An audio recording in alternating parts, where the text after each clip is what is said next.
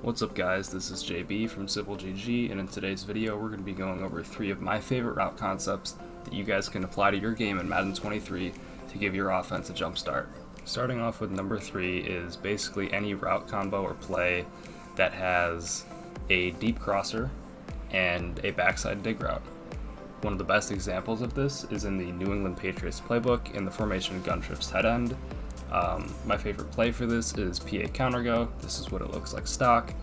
I like to streak my tight end, flat my middle slot receiver, and put my outside receiver on a dig route. Um, my first read is obviously that crosser. I really want that deep, but if that's not there right away, I can normally hit my dig route for a wide open gain. You'll see here we do have the crosser, so we'll just possession catch that up the sideline. Another great play for this is also in the New England Patriots playbook in the same formation. It's called Curl Flat. This is what it looks like stock. Very similar uh, setup for this, except this time we're not having our running back on a play action blocking assignment. He is going to be on this angle route. You guys can block him if you so choose. Really the same setup.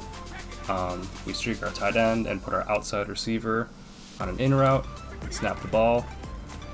We don't have our deep crosser, we did that time. We can throw our um, in route coming over the middle, but we did at the crosser, so there's really no need to take the shorter check down.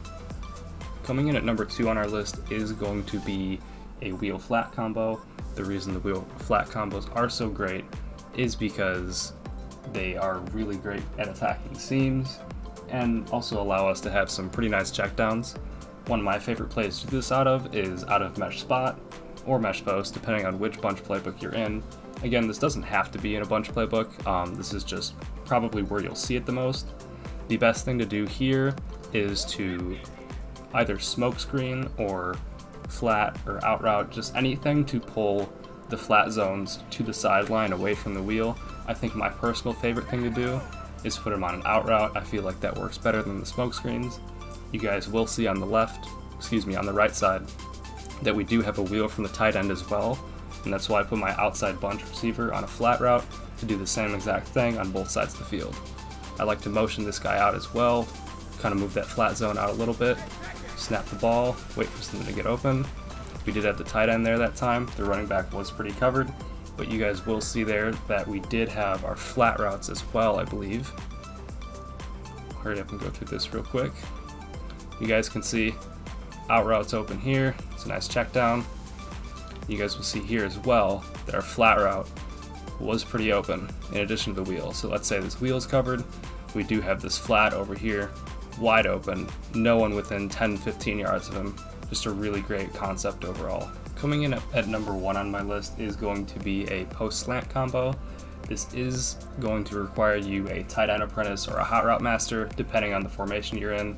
Um, personally, I like this best out of trips, so I'm going to need a tight end apprentice or a hot route master because I want to be able to put my tight end on a post route. Um, you'll see something like this typically. You'll see a slant from the inside receiver and a post from the tight end. This does typically work best in trip sets, although you can do it from other formations. And the great thing about this is that it does allow you freedom with your other routes. Um, personally, I like to do something like this, where I put my uh, middle slot receiver on a zig to pull zones away from my slant, as well as pull flat zones down away from my post.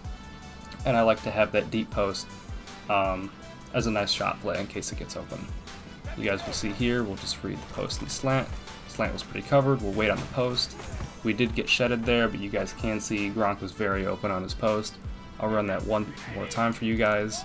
Same setup. Uh, circle on a slant, tight end on a post, triangle on a zig, and square on a post as well. You can do other things with this. We could even just flat this guy, our middle slot receiver, and streak him if we wanted to. Um, but we'll go with the same setup this time. It doesn't have to be play action either, another great thing. But you guys can see how open that is. I mean, it's just awesome. Make a move upfield, you guys are out of there. No problems. If you guys enjoyed the video and felt like you learned something, please consider dropping a like and subscribing. In addition to visiting civil.gg, our, the link to our website will be in the description. You guys can use code GG for 20% off at checkout.